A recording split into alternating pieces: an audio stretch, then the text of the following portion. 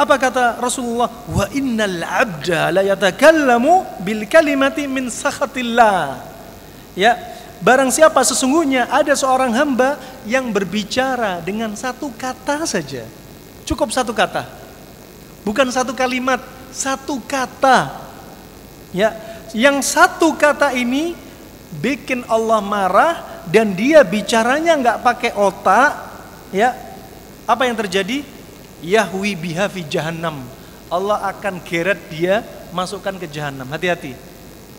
Ya, hati-hati. Kalau ada saudara kita memelihara jenggot, jangan bilang teroris. Kalau ada saudara kita memelihara jenggot, jangan bilang kambing. Kalau ada saudari kita pakai cadar, jangan bilang ninja. Kalau ada saudara kita pakai cadar, jangan bilang ketombean, rambutnya rontok, kalau ada saudara kita celananya di atas mata kaki, jangan bilang kebanjiran.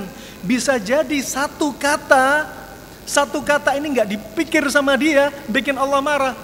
Subhanallah. Allah giring dia ke jahanam. Bayangin. Sunnah, jangan dibilang ini kan hanya sunnah.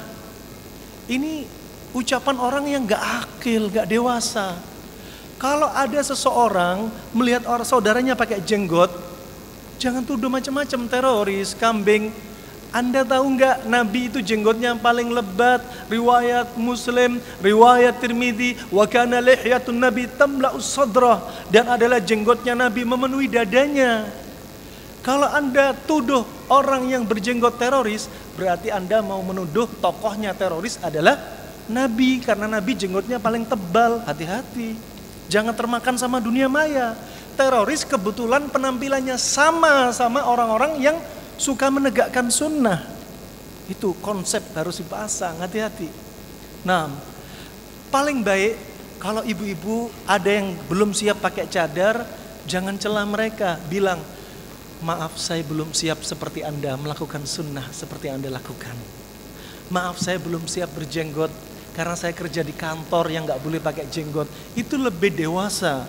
Maaf saya nggak bisa celana saya di atas mata kaki. Karena atasan saya bakal marah kalau celana saya di atas atas mata kaki. Itu lebih mending daripada dicela. Sunnah itu indah. Di balik syariat Islam ada maslahat ada kebaikan. Dunia wal akhirah